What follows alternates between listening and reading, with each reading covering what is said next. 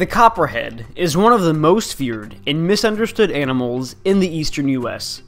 And the misidentification of non venomous species as copperheads results in thousands, if not millions, of harmless snakes being killed each and every year. Today, we're going to meet a baby southern copperhead to learn about its incredible adaptations and a few useful identification tips. Alright everyone, check out this beautiful little snake. Now this is a baby copperhead. Something I've wanted to see for so long. Um, it is pretty rare to see them in the wild. This is definitely the best time of year to see them here in the fall because this guy was probably just born um, not too long ago. Copperheads are live bearers like other pit vipers. Um, they do produce live offspring, they don't have eggs. And so this little guy was probably birthed just this year. And you can see he's incredibly small, maybe like five inches long. Now, lots of people have problems identifying baby copperheads. I mean, people have problems identifying adult copperheads too. But babies, for some reason, there's so many small snakes in North Carolina, some of which are brown in coloration or have patterning, like DeKay's brown snakes, for instance. But there is, these are even easier to identify, I would say, than adults. Um, the very first thing to look for, like for all copperheads, is going to be that Hershey Kiss patterning. But babies have an even easier characteristic to look for, and that is a caudal lure.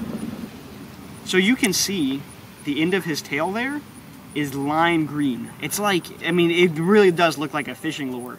And that is its exact purpose. That caudal lure is used by these baby copperheads to draw in prey, mostly invertebrates, but also things like lizards these guys will take.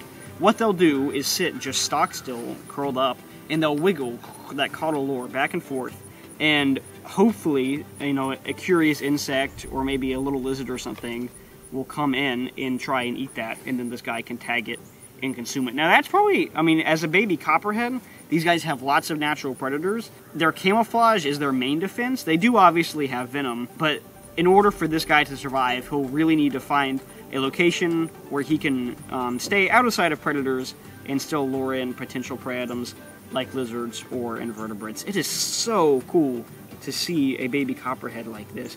Now, this one was actually found in someone's yard, and so what we're doing today is just taking him to a safe location to release. Um, so this individual did not come from this specific location, but this is an area that's not frequented by humans, um, and we know that there's a healthy population of copperheads here already, so hopefully um, he should be able to survive and do really well. But if you are ever, if you ever see a snake in your yard, and you question if it's a baby copperhead or not, two things to look for. One, the Hershey Kisses, just like adults. And two, that crazy neon green caudal lure. Really, really hard to mistake for anything else. And they're also adorable. I mean, just look at him. He is totally cute.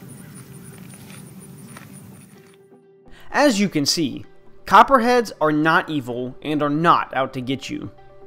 They are charismatic, unique reptiles that are just as ecologically important as any other secondary consumer, and do so much more good than harm. Without snakes like copperheads, disease bearing insects and rodents would proliferate and have the chance to infect humans with afflictions such as Rocky Mountain spotted fever, Lyme disease, or even bubonic plague. Would you really rather kill that copperhead than keep yourself and your pets or children safe from tick borne illnesses? Alright, everyone, that's just about it for today's video. I really hope that you enjoyed, and learned something new about the Southern Copperhead. If you did enjoy, please be sure to leave a like on this video, and consider subscribing to my channel for new educational wildlife content, coming on Saturday mornings as often as possible.